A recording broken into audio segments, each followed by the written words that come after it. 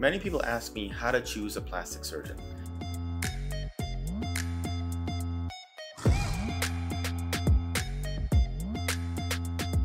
But when trying to choose a plastic surgeon, it can be really confusing because there are so many choices out there. I think that the three most important things to consider are as follows. The first has to do with educational background and training and board certification, right? So review their education.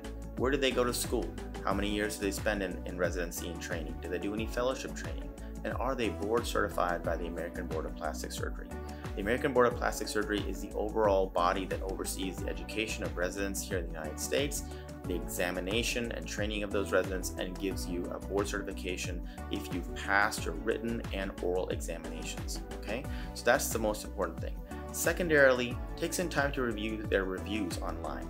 Reviews are real people's answers on how their personal experience went, not only with the surgeon, but with the staff and everything, scheduling, post-op visits, whatever, right? Take some time to really understand how their experience went by reading all the detailed reviews. And then you might choose to come in and meet with somebody. Well, the last piece is did you make a connection with that individual? Did that surgeon take the time to spend with you, meet you face to face, spend some time listening to your concerns? Do you feel like they connected with you? Do you feel like you could trust them with your care? Did you feel like they understood what you wanted to have done and can help you achieve your aesthetic goals? And I think that is the most critical thing in choosing a plastic surgeon.